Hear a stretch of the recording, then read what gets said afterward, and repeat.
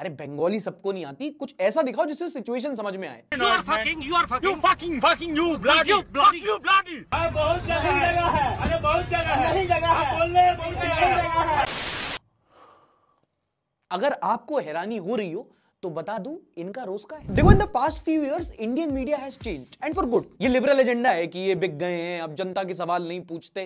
That जबकि उल्टा है अब ये जनता के सवाल ज़्यादा पूछते हैं। मतलब पहले ये लोग बड़े फालतू के जीडीपी वुमेन सेफ्टी अनएम्प्लॉयमेंट ऐसे ऐसे सवाल पूछते थे आम आदमी रिलेट ही नहीं कर पाता था। अब ये लोग रिलेटेबल हो गए आम आदमी से जुड़े सवाल पूछते हैं। आप अपनी जेब में पर्स रखते हैं क्या? अब देखो ना पहले ये सरकार से सवाल पूछते थे अब जवाब देते हैं। सो मच हुआ है कितना किया है और क्या बचा है? पहले डिबेट में बस बातें करते थे अब एक्शन लेते हैं। जैसे लोग पहले बड़े बदतमीज थे अब मर्यादा आ गई है। थोड़ी मर्यादा रखिए। पहले दबाव रहता था खुल के नहीं बोल पाते थे। अब फ्रीडम ऑफ़ स्पीच के साथ बोलते हैं। है।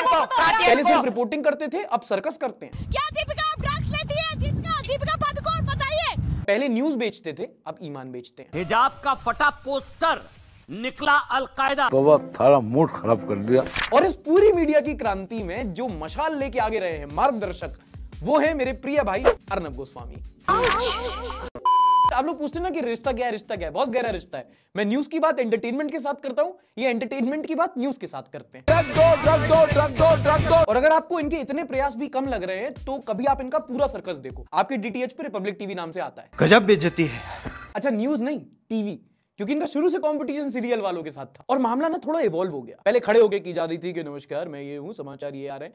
फिर थोड़ा चल के रिपोर्टिंग करने लगे। फिर उनका वो भी नहीं तो उन्होंने कहा चलो दौड़ के कर लेते हैं। और जब वो भी कमी पड़ी तो नाच के करने लगे। आनंद लीजिए। तेज करे काचा बदम। ये तस्वीरें दिखाकर क्या साबित करना चाहता है तू? कहने का मतलब ये कि पत्रकारिता थोड़ी इवॉल्व कर गई है। ये लोग पत्रकारिता को इतना आगे ले गए हैं कि अब जो नए बच्चे आ रहे हैं वो कह रहे हैं भैया हमारी डिग्री का कोई काम नहीं बचा अब। सही डिबेट होती है डब्ल्यू डब्ल्यू फेल है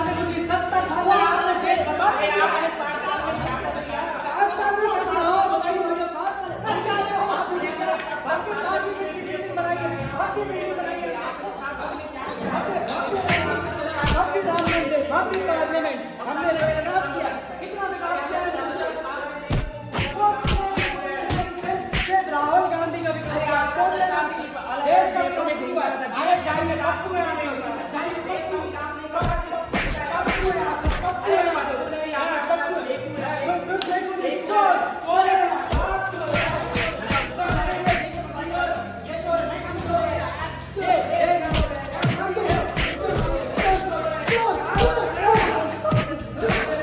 खैर, उम्मीद करता हूँ अब आप सच्चाई जान चुके होंगे लिबरल प्रोपोगेंडा समझ चुके होंगे, और आप देश की मीडिया पर अब घमंड करेंगे। और अगर अभी भी आपको देश के पत्रकारों पर घमंड नहीं आता है तो पाकिस्तान